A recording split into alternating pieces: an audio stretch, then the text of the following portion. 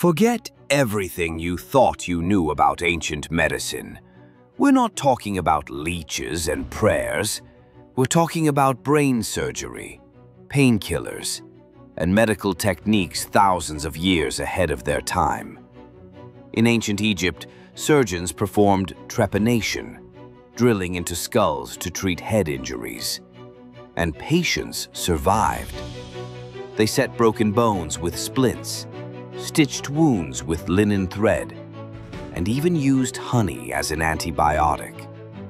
Meanwhile, in India, the Sushruta Samhita, written over 2,000 years ago, described plastic surgery and hundreds of surgical tools still recognizable today. And in China, physicians developed herbal medicines and acupuncture, systems still practiced across the world.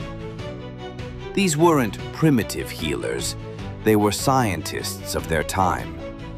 Their discoveries shaped the foundations of modern medicine, proving that human curiosity and innovation are far older than we think.